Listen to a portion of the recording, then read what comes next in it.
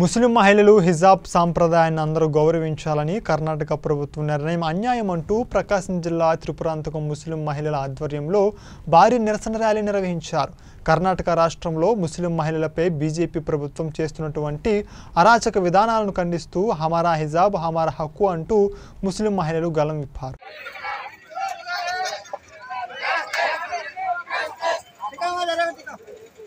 ఈరోజు భారతదేశంలో కుల వివక్ష చూపించి ఐదు రాష్ట్రాల్లో జరుగుతున్న ఎన్నికల లబ్ధి కోసము ఈ రోజు అదేవిధంగా అదే విధంగా మన హిందువులకి తగు పెట్టే మాట అయితే ఈ ఐదు రాష్ట్రాల్లో ఎన్నికలలో బీజేపీ అధికారం లేకొస్తే మనోన్మాద శత్రువులను అరికట్ట అరికట్టాల్సిన వ్యక్తులు కూడా ఈ రోజు భారతదేశంలో ఎన్నో ఇబ్బందులు ఎదుర్కొంటున్నారు. నిన్న చూసుకునే మాట అయితే కర్ణాటకలో కనీసం కాలేజీకి పోయే మహిళల గురించి అంత అసభ్యంగా మాట్లాడటం చాలా దుర్మార్గము. దీన్ని ఆల్రెడీ నిన్న సుప్రీంకోర్టులో దీని మీద విచారణ కూడా చేపట్టారు.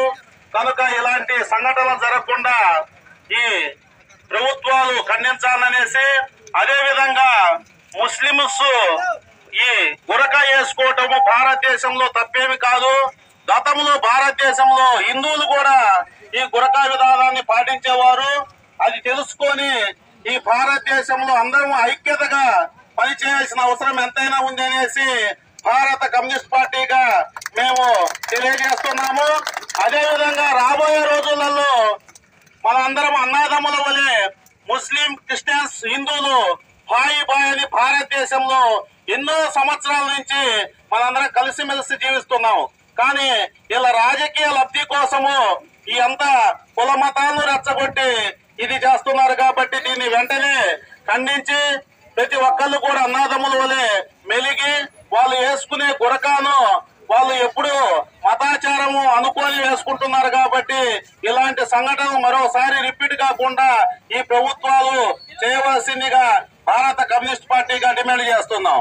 అదే విధంగా మన రసూల్ ఖాన్ సార్ కూడా మాట్లాడాల్సిందిగా నమస్కారాలు తెలియజేసుకుంటా ఉన్నాము.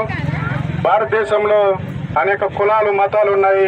అందరూ కూడా సార్వభౌమత్వంతో సౌభాతృత్వంతో అందరూ కూడా కలిసిమెలిసి జీవించే హక్కు అది మనకు రాజ్యాంగం కల్పించింది. ఈ హక్కును కూడా ఎవరు శాసించలేరు.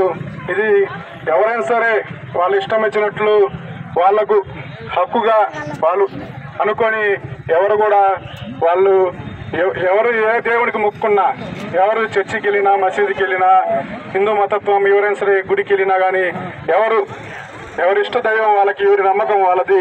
వాళ్ళ ఇష్టం వచ్చినట్టు కూడా వాళ్ళు అందరూ కూడా స్నేహభావంతో అందరం కూడా అన్ని కులాల మతాలు కలిసిమెలిసి బతికేదే భారతదేశం. భారతదేశం అంటేనే అన్ని కులాలకు సమైక్యతకు సమ్మేళనానికి నిదర్శనమని కూడా తెలియజేసుకుంటూ ఎవరిని కూడా ఎవరు నిర్మూలించే హక్కు స్వేచ్ఛ అనేది ఈ భారతదేశంలో ఎవరికి లేదు. ఎవరు స్వతహాగా వాళ్ళు రాజ్యాంగం కల్పించిన హక్కు ప్రకారం బతకొచ్చని కూడా తెలియజేసుకుంటూ అందరికీ నమస్కారం. జై హింద్. అయితే కాదు ఇది. ఎన్నో ఎంతో మంది మహారాజులు గారు అసలు ఎంతో మంది రాజ్యాల్లో రాసిస్తున్న వాళ్ళైతేనేమి అప్పట్లో పరిపాలించిన వాళ్ళందరూ కూడాను చార్మినార్ని కట్టి చార్మినార్ కంటే నాలుగు పిల్లర్స్ ఈ నాలుగు పిల్లర్స్ని నాలుగు మతాలతో పోల్చారు. హిందూ ముస్లిం సిక్ ఈసాయి. ఈసాయి అంటే ఏంటి? క్రిస్టియన్ సిక్ హిందూ ముస్లిం ఈ నాలుగు కులాలతో చార్మినార్ని అంత అద్భుతంగా కట్టి చార్మినార్తో మనల్ని పోల్చారు అంటే అన్ని కులాలతో అన్ని కులాలని ఈ యొక్క చార్మినార్ అంత గొప్పదైన కట్టడంలో మనల్ని పోల్చినప్పుడు అందులో ఏ పోయినా కూడాను ఆ అద్భుతమైన కట్టడం అనేది నిలబడదు. సో ఇది ఒక్కటి గుర్తుంచుకోవాల్సిందిగా నేను మోడీ గారిని కోరుతున్నాను. Thank you